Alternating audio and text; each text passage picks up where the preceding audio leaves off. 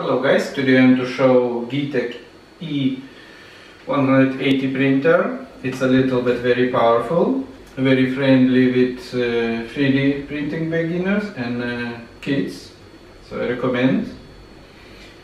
It's very very well made printer.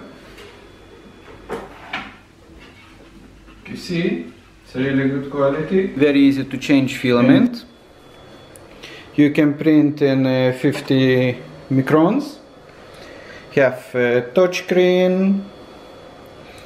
You have Wi-Fi. You have uh, break, resuming, printing, so you can turn on or uh, turn off your printer. Just come next day and resume your print. You have uh, filament cooling